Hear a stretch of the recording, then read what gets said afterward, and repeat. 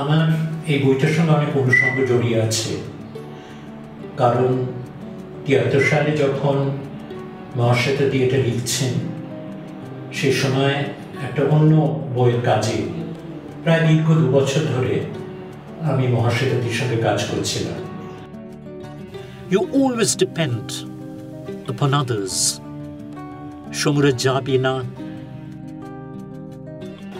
তারপরে এটার সঙ্গে আমি অনেকভাবে জড়িয়ে আছি এই কাহিনীটার সঙ্গে। তাই এতদিন পরে যখন সেইটে পড়তে যাই, তখন ওর পড়ার স্মৃতি, ওর পড়ার স্বর, সেগুলো যেন আমি শুনতে পাই সেগুলোকে প্রথম আমি ধারণ করতে পারি।